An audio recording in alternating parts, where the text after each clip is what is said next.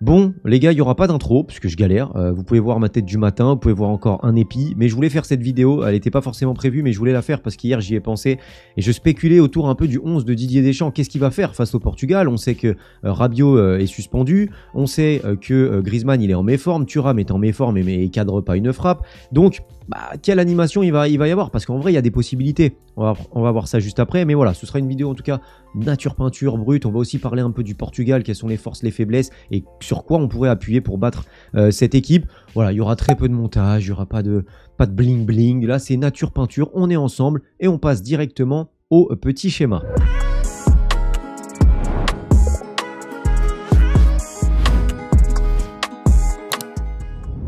On se retrouve donc sur le petit schéma et comme vous pouvez voir, c'est le 11 qui a été aligné donc face à la Belgique.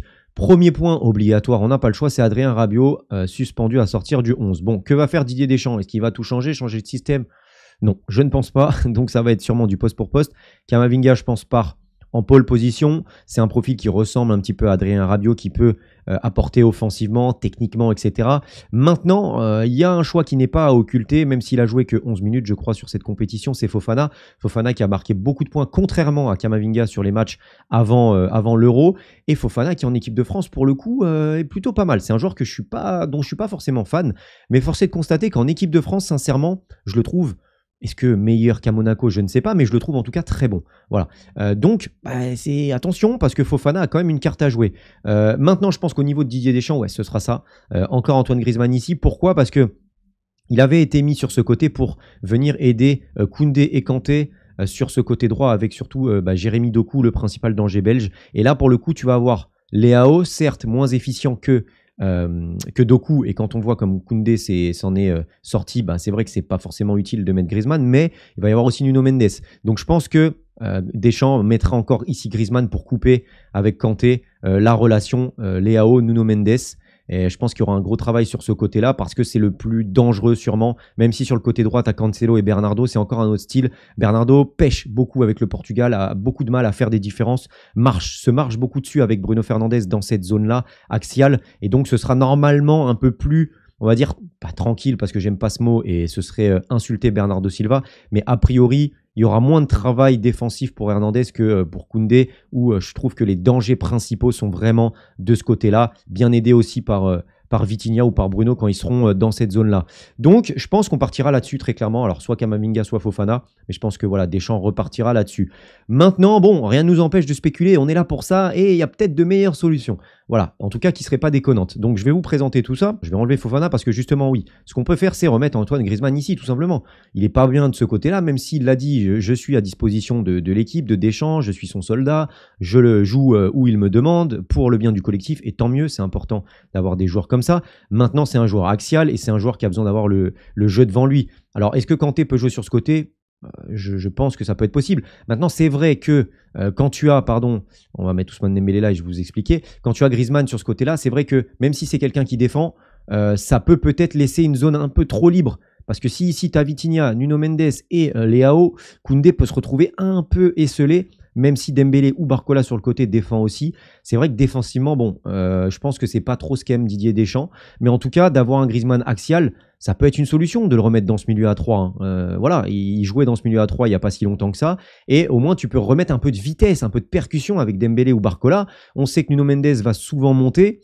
Euh, donc, tu auras de la place dans le dos. Tu auras de la place dans le dos pour attaquer comme l'a fait Dembélé face à Cancelo euh, lors de ce PSG Barcelone, où d'ailleurs il avait obtenu un penalty. On reviendra après sur Cancelo côté droit face à Kylian Mbappé parce que ça peut être une des clés du match. En tout cas, je trouve que ça peut être une compo intéressante. Maintenant, il reste toujours le principal problème, je trouve, de cette équipe. Si on pas, c'est peut-être aussi parce que Marcus Thuram n'encadre pas une.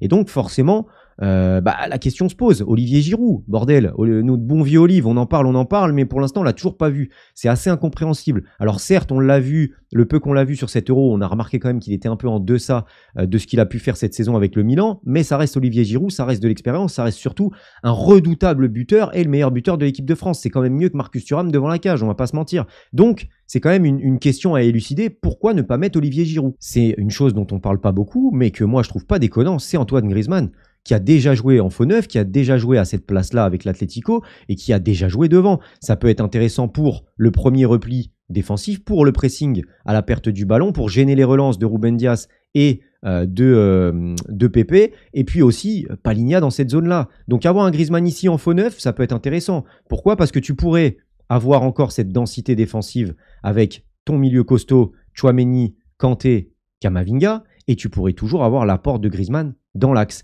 Également, tu auras toujours cette vitesse-là sur les côtés, un peu dans le demi-espace. Tu auras toujours Kylian ici, et tu auras toujours soit Dembélé, soit personnellement, je trouve Barcola plus juste, surtout pour jouer dans le demi-espace, ici. Et un peu, voilà, Griezmann en faux neuf.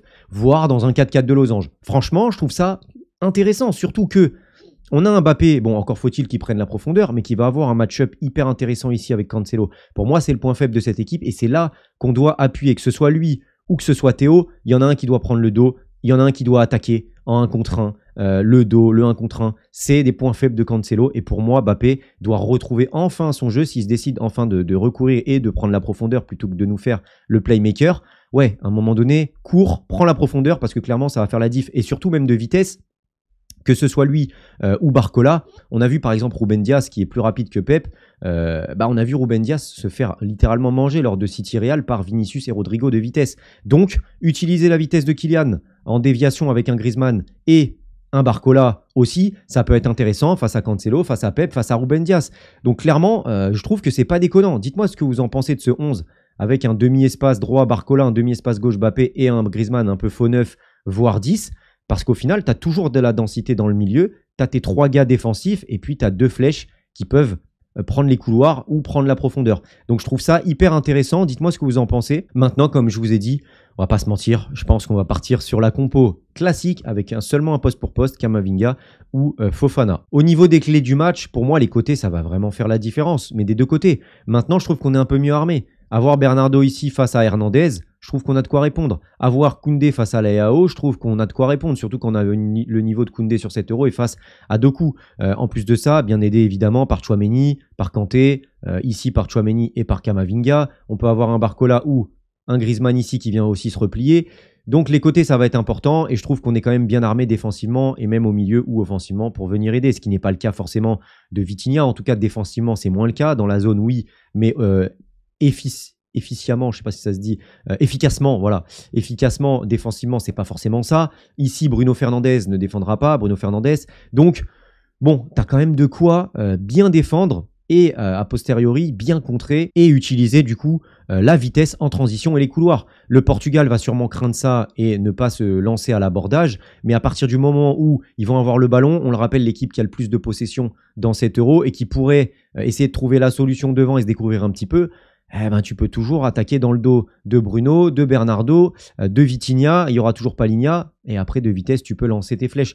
Donc, euh, ouais, je pense que les côtés, ça va jouer. Et puis après, il y a ce circuit-là aussi euh, au milieu qui va être important. Bloqué ici Bruno Fernandez et Bernardo Silva, qui se marchent beaucoup dans cette zone et qui surtout c'est très très stéréotypé. Ils essayent très souvent de trouver Cristiano dans la, dans la surface, même Léao d'ailleurs, hein, dès qu'il déborde et qu'il veut s'entrer en retrait, c'est CR7 qui est toujours, toujours, toujours cherché et qui, je trouve, vampirise un peu le jeu. Donc si on a un Saliba qui fait le même boulot qu'il a fait sur Lukaku, je pense que ça va être très très compliqué pour le Portugal et qu'il va falloir qu'il trouve d'autres solutions que de chercher constamment euh, Cristiano Ronaldo. Voilà, donc ça défensivement, c'est vrai qu'on a quand même un avantage, je trouve, que ce soit nos côtés ou défensivement euh, dans l'axe.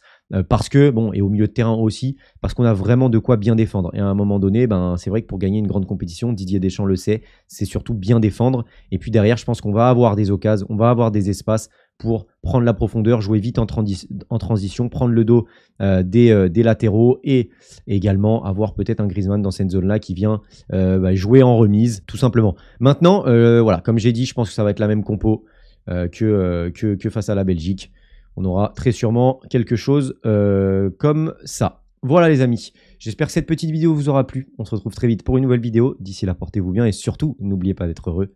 Ciao